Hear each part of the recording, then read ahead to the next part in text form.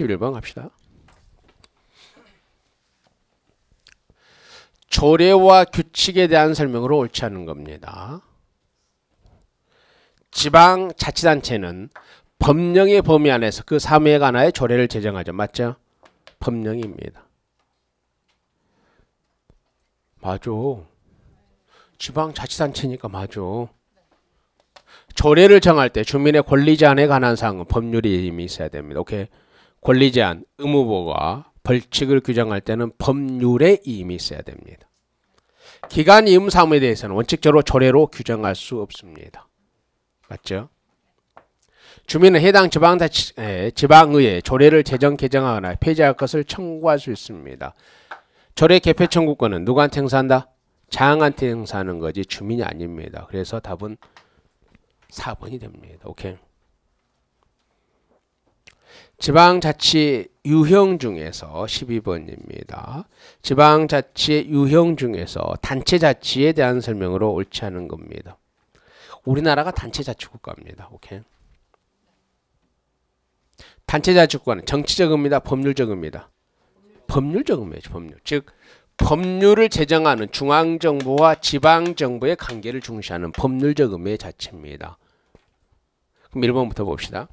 중앙정부와 지방정부와의 관계보다는 주민의 참여를 중시한다. 틀렸잖아요. 법률적 의미의 자체가 중앙정부와 지방정부의 관계를 중시해요. 우리나라 같은 단체 자체가 왜? 법률은 중앙정부가 제정하니까.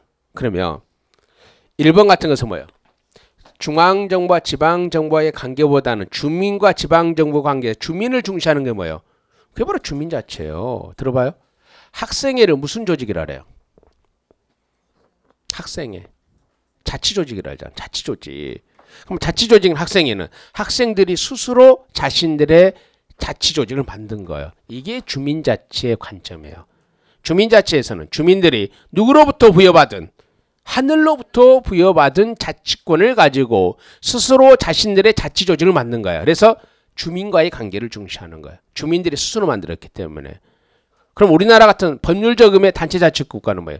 중앙정부가 법률에 의해서 자치권을 부여한 거야. 근데 법률은 누가 제정해?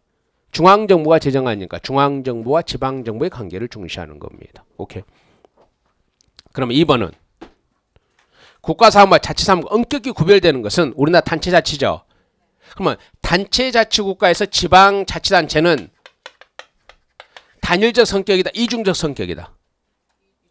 이중적 성격이잖아. 이중적 성격. 지자체로서 성격도 있고 뭐도 있어? 국가의 하부행정기관으로 성격도 있어요. 그러면 지자체로 성격을 하는 업무는 뭐라 그래? 자치사무, 고유사무. 하부행정기관을 하는 사무는 임사무, 임사무인데 단체가 임받으면 단체 임사무, 기관이 임받으면 집행기관이 아니 집행기관이 임받으면 기관의 임사무. 그래서 국가사무와 자치사무가 구별되는 겁니다.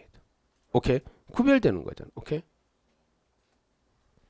자치권의 범위는 포괄적 수권지 맞죠? 그 중에서도 포괄적 예시주의 우리나라는 단체 자치국가는 포괄적 수권인데 그 중에서 우리나라는 포괄적 예시주의입니다.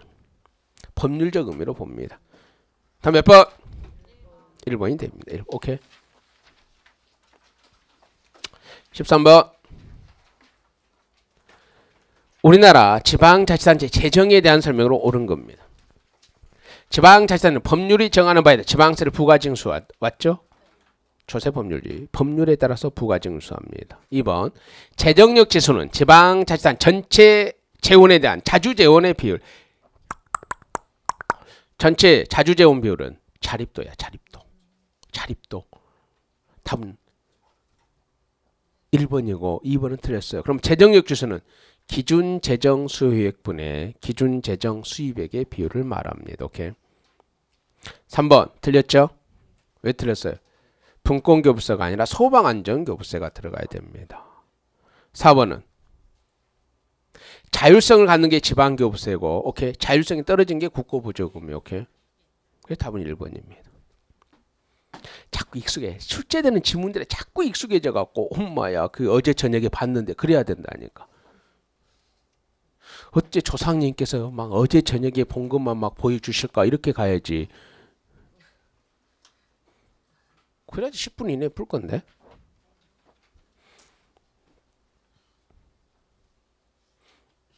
나는 조상님이 안 보여줘. 아니 이번에는 보여줄 거야.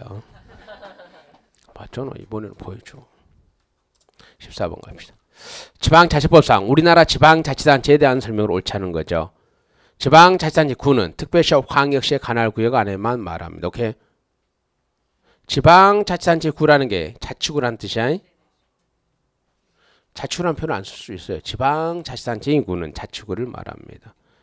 조례안이 지방에서 의결되면 의장은 의결된 날로 며칠이네? 5일이네 이송합니다. 우리나라는 기간 대립형이죠. 주민은 모든 지방의원을 소환할 권리를 갖는다. 답은 4번입니다. 비례대표원은 제외됩니다. 15번 갑시다. 기간 이임 사무에 대한 설명으로 옳지 않은 겁니다. 지방의회가 관여할 수, 조례를 처리할 수, 답 1번입니다. 기간 이임 사무는 지방의회가 관여할 수 없기 때문에 조례로도 처리할 수 없습니다. 사무 처리에 소요되는 경비는 전액 누가 이인기관이 부담, 즉 국가가 부담해야 된다는 거고 감독은 사전적, 교보정적, 예방 모든 감독이 다 가능한 거예요. 단 자치 사무는 뭐다 사후적으로 법령을 위반한 것만 할 수 있습니다. 지방적 이해관계보다는 전국적 이해관계가 큰 사무입니다. 됐죠? 16번입니다. 특별 지방행정기관의 문제점은 옳지 않은 건데 그럼 특별 지방행정기관의 장점 3개가 뭐예요? 전국적으로 통일적 업무, 광역행정,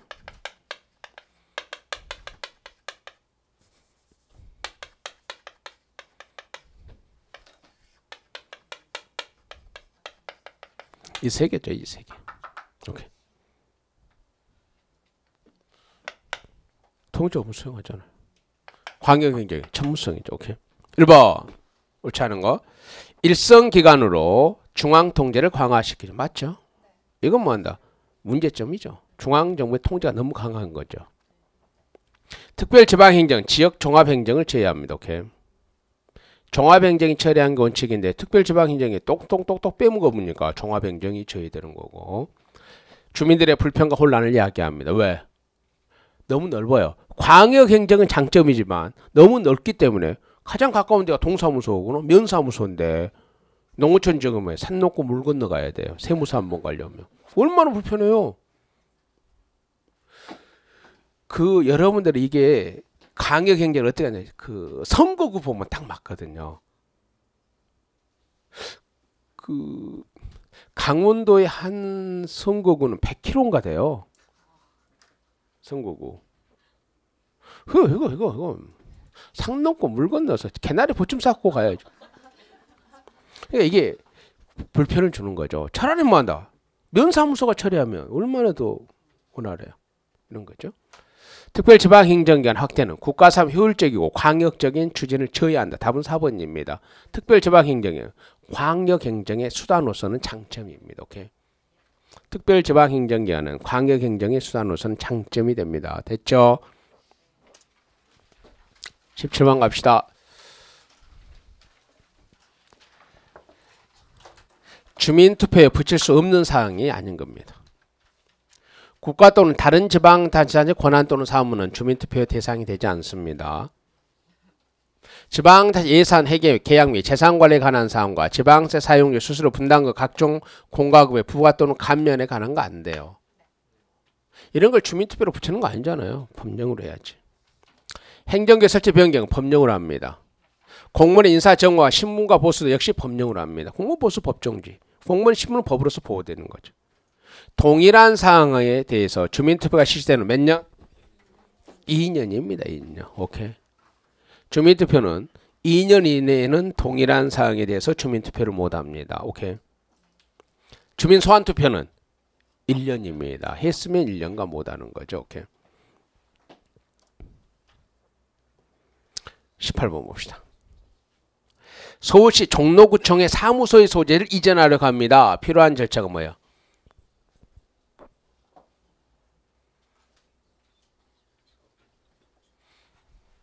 서울시장과 협의해? 말할 필요 없습니다. 답 2번입니다. 종로구청은 종로구는 지자체잖아요. 그러니까 종로구 의회 제적원 가반수 찬성을 하는 겁니다. 가반수 추석의 가반수 찬성이 아니야. 이? 사무소의 소재지는 제적 가반수가 찬성하는 조례로 합니다. 오케이. 사무소의 소재지는 제적 가반수가 찬성하는 조례로 합니다. 오케이.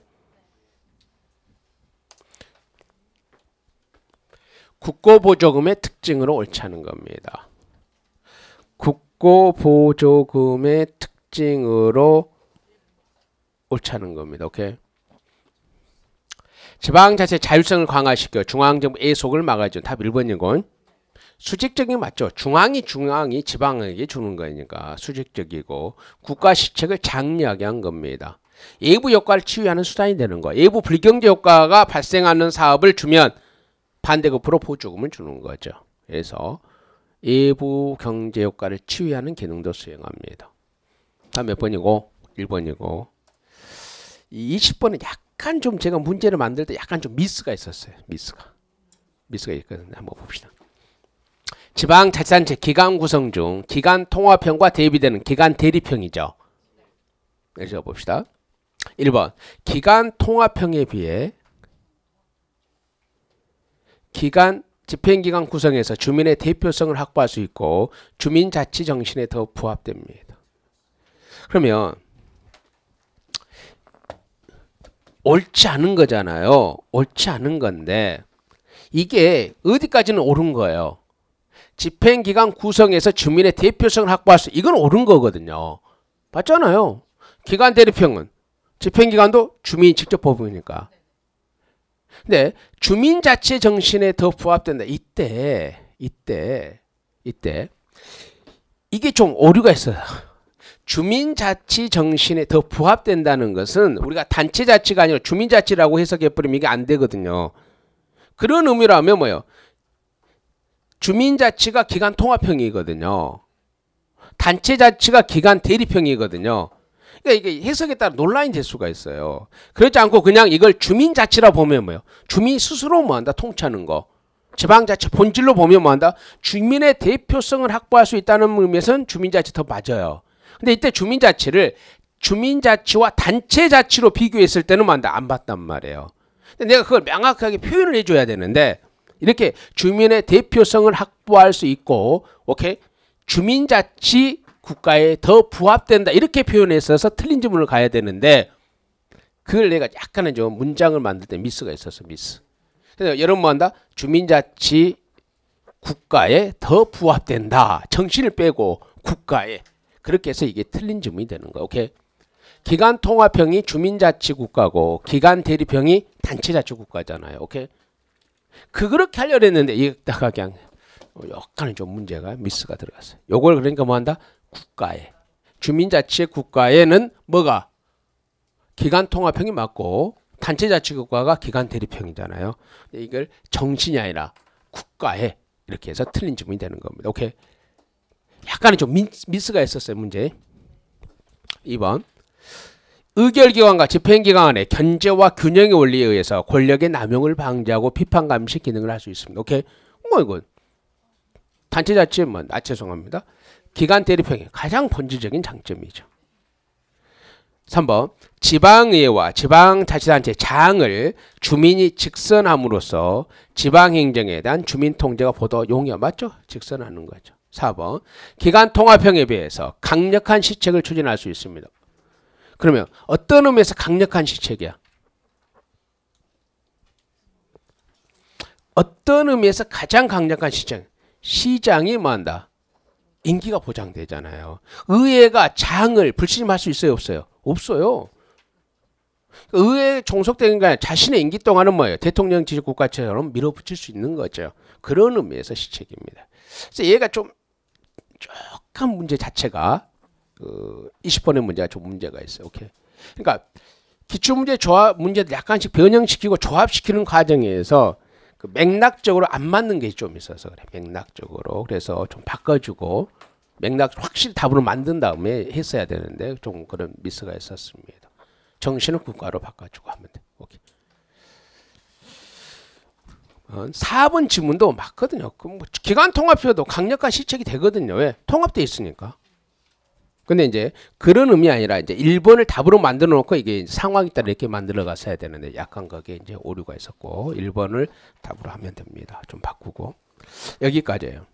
여기까지인데 여러분들 보면 굉장히 어려운 영역도 있고 쉬운 영역도 있어요. 근데 반복을 하셔야 돼요. 반복을 하셔야 됩니다. 그러니까 예컨대 이걸 반복을 하셔야 돼요. 그러니까 여러분들이 어떤 공부를 하시든 간에 어떻게 공부를 하신가 상황에 맞게 공부를 하실 거 아니에요. 그럴 때마다 여러분 항상 이 기출 문제집 책은 뭐예요? 시험 끝날 때까지 여러분 손에 딱 들어 있어야 돼요. 기본서를 보면서 복습을 하든 동영을 보면서 또 복습을 하든 오케이 또는 뭐 필기 노트를 하면서 복습을 하든 간에 항상 기출 문제집은 복습을 하셔야 돼요. 그래서 내게 돼야 돼. 내게 익숙해져야 된다니까. 그래서 최소한 15문제는 거의 만다. 어, 어, 어. 조상님께 나한테 주셨네. 이렇게 자꾸 보여야 되거든요. 그래야지만이 제한된 시간에 여러분이 좋은 성과를 거칩니다. 제한된 시간이 안 돼버리면 어떤 문제가 생겨요? 다른 과목에다 연쇄적으로 파급 효과가 발생해. 오케이? 그래서 반드시 좀 익숙해져야 되고, 익숙해져야 되고, 언제까지? 언제까지? 기출문제집은 시험 끝날 때까지 항상 가지고 다니셔야 돼요. 그래서 어느 분야가 잘 이해가 안 되면 그 분야를 빨리 펴서 그러니까 뭐예요 키워드별로 되어 있고 단원별로 되어 있으니까 빨리 펴서 또 한번 보고 보고 그럼으로써 실제 출제되는 뭐한다 문장 패턴으로 여러분 익숙해져야 됩니다. 한 번 보고 나서 전부 다 이게 익숙해졌다. 그 100% 거짓말입니다. 익숙해질 수가 없어요. 자꾸 반복해서 보고 오케이 처음부터 끝까지 보는 방법을 택하든 간에 내가 잘 안 되는 분야만 보든 간에 각자의 스타일대로 보셔야 됩니다. 반복해서. 손때가 묻을 정도로. 손때가 뭔지 알죠? 여기 이렇게 묻어야 되는 게 또, 또 이렇게 하지 말고 진짜 넘기면서 묻어야 돼. 진짜 넘 진짜는. 그 사람이 손때가 묻으면요. 자신감이 붙어요.